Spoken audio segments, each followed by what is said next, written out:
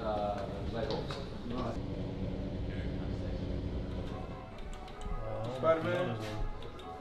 Huh? Oh, you get to pick two people? Yeah, two people.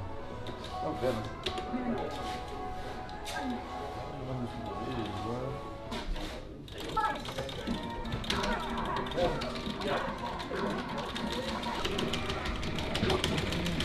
I don't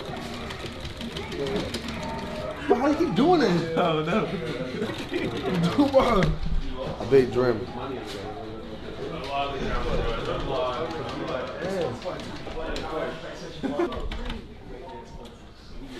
I just said a record, bro. Bro, ain't nobody ever got whooped that fast.